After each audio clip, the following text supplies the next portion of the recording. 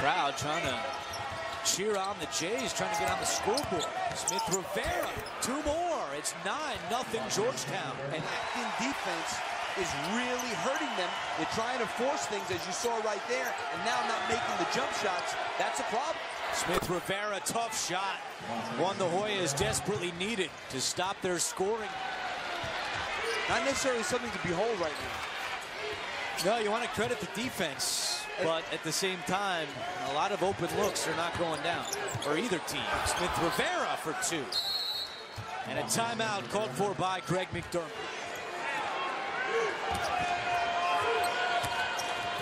Smith Rivera catch and shoot. It's good. D'Vauntes Smith Rivera.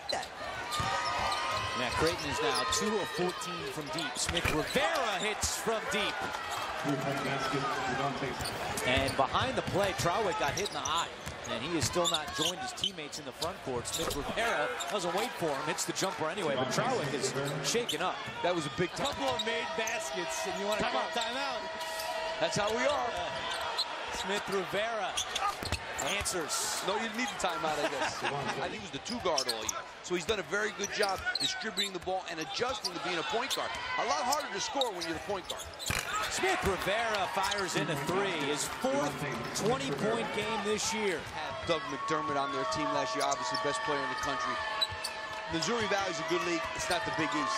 Your recruiting has to be, they've, they've jumped two levels to the level they're playing basketball at now. So these kids,